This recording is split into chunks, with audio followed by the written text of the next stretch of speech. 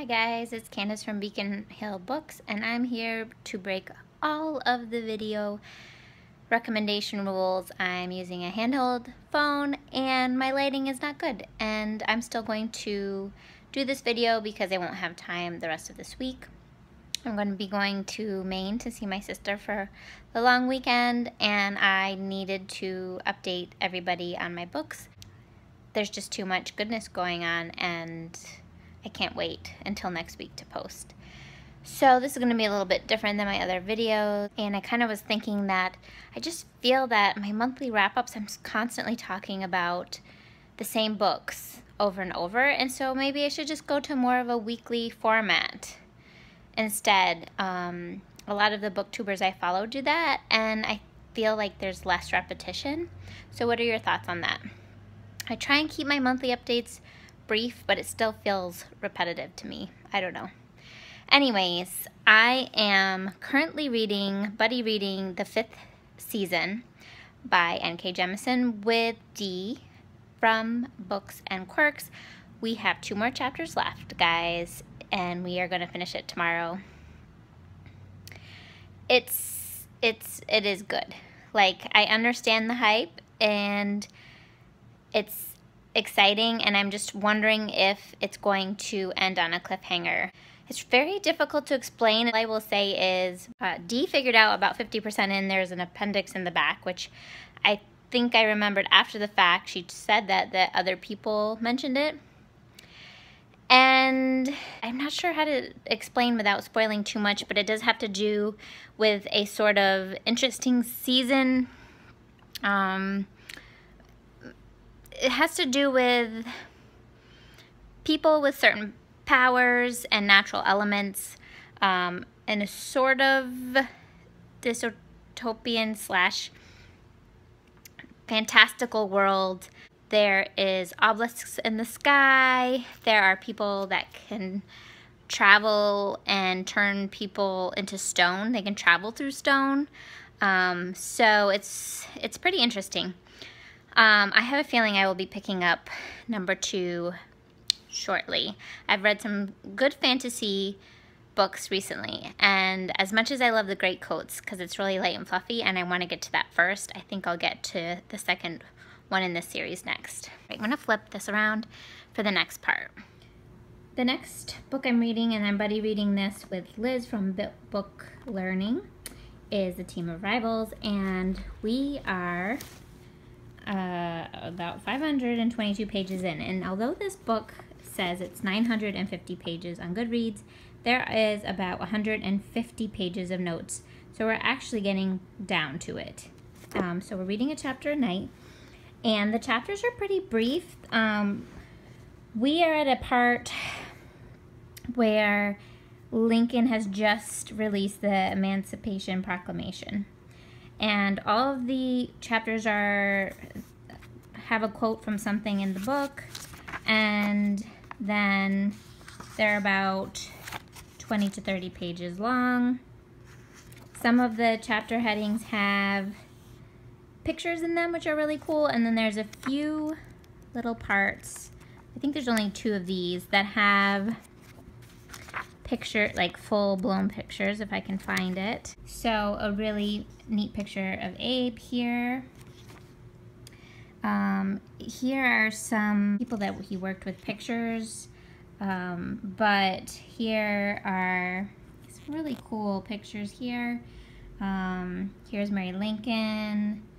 Here's Lincoln with Tad, um, who re he really becomes the primary caregiver for uh, when Willie dies because Mary's just overcome with complete grief. And here's Seward, who plays a major part in Lincoln's cabinet of Secretary of the State. Um, he really is his closest friend and confidant. Um, he did so much great things for our country, and I had never even heard his name. And I'll just show you, oh, this guy I do not like. McClellan. I won't get into that here. Frederick Douglass, but I love this picture. Um, so this is when Lincoln and his son are walking around uh,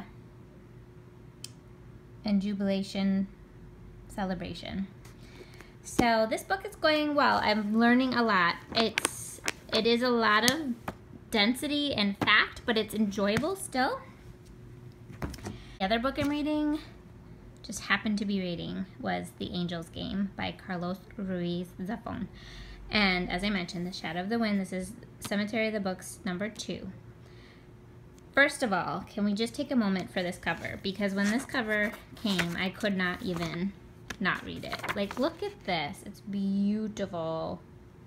This dust jacket doesn't go the whole way. It's on both sides. It's so nice. Okay, also, I just got to Act 2. I just don't want to stop reading it, but I have to.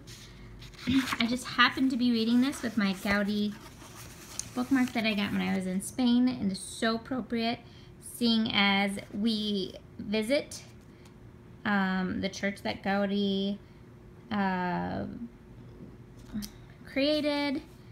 And they go to Güell Park. I'm probably saying that wrong. I'm 150 pages into this. It's about a guy named David Martin. He is a wonderful author, um, but he gets involved in a particularly crazy situation where this guy who's been his benefactor um, all he ever wanted in life. He's completely rich, but he just wants to publish a book and he can't do it. And so a mutual friend of this publisher, benefactor, um, comes to David and asks to help him create create the book for him, even though he doesn't know that it, he'll have been writing it. It's interesting. Meanwhile, the writer David is writing his own book. He's in a contract that's like slowly um, sucking his soul. He's already been in the cemetery of forgotten books, um, but I don't want to say more than that because I don't want to spoil. It's so good, guys. The chapters are so quick, and it's so it's all takes place in Barcelona on on and around Las Ramblas. Um, it's very gothic and kind of dark, and I just love it. So good. One more thing I want to show you, and this was a pickup I got from the little free library by my house. Now, as you guys all know, my one of my favorite books I've read this year was The Peabody Sisters by Megan Marshall. And she had released another book about Margaret Fuller that I wanted to pick up. So someone in my neighborhood is reading about some amazing people and I love their taste. So this is The Lives of Margaret Fuller by John Matteson. Margaret Fuller is a, an amazing, amazing woman. Um, it's a biography about her and it, as you can read here, it's like she really tried to propel herself into another echelon of education at a time when that was not really done. And she became um, the first foreign correspondent for American newspaper. So I'd already wanted to learn more about her, and so now that this is just given in my lap, I'm going to read this instead. This is a picture of the author, John Matteson, and note that Oh, he was given the Pulitzer Prize for Eden's Outcast, the story of Louisa May Alcott and her father, which is on my TBR. After I read the Peabody Sisters, most people read this as well because um, the Alcott family slash father was in that book. So, amazing pickup. Sorry, there was probably some parts where it wasn't as interesting to watch, but I just wanted to show you these books and um, I should be finishing the fifth season shortly, so I probably should pick up, um, continue Manhattan Beach, but I recently got uh, A Thousand Women by Jim Fergus, I think, I believe, and it's about, it's a historical fi fiction based on this woman, Louisa Dodds, Louisa May Dodd, I think, um, or May Dodd's diaries, where she was one of the 1,000 women that either volunteered or was, or was quote volunteered to go to this Indian tribe um, to help them acclimate to the U.S. and trade for a thousand horses.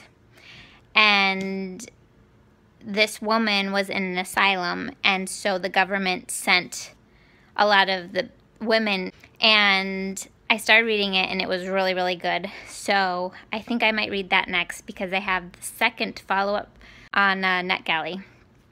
But that's getting ahead of myself. Anyways, hope you're all having a great week. I'll talk to you all soon. Bye.